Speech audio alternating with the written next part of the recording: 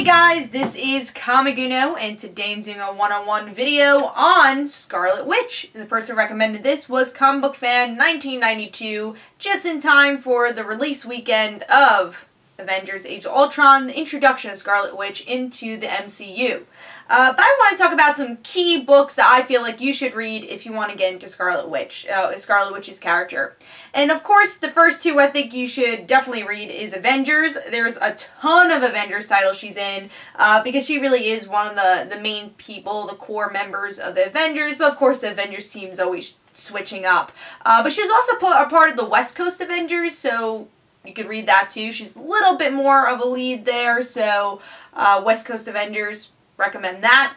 Um, also, she is a mutant, so you, you get to see some X-Men stories with her. But again, I do feel you you do get more Avengers stories with Scarlet Witch because you see her more as the hero than the villain, and then the villain again, and then a hero again. So she's always going back and forth. But usually there's more time period that she's the hero.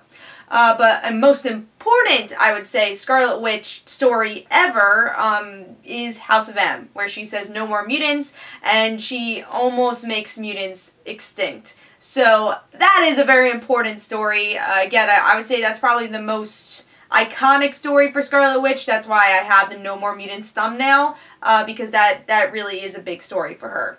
Uh, so other titles you should read, these are a bit more current titles. Uh, one I always recommend you should read just in general, but uh, Avengers The Children's Crusade, you get to see her relationship with her sons, um, Speed and and Wiccan, so totally recommend that story. And this is also the aftermath of House of M, how do they people see her, so uh, definitely read Children's Crusade if you want to learn more about that.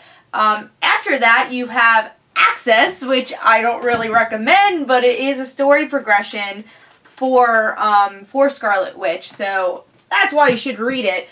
Uh, because we see that they changed that she's not the daughter of Magneto somehow. They changed that. I didn't actually read the issue, but I know that's what happens there. So, don't recommend it, but if you want to learn everything about Scarlet Witch, you should read it. Um, and currently, in, in a lot of um, the Marvel Now stuff she's been in is Uncanny Avengers. So if you read Uncanny Avengers, I don't know if she's in the current Uncanny Avengers. I know she was in the last Uncanny, Uncanny Avengers and she was a main character. And again, dealing with, um, you know, becoming a hero again.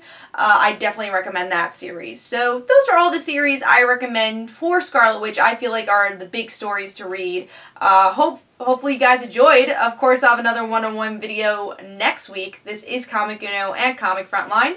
Don't forget to follow me on Twitter. Don't forget to like my Facebook page. Also, description below, there's links for my comic book, like Father Like Daughter. And don't forget to like the Facebook page of Like Father Like Daughter. I'll see you guys later. Bye.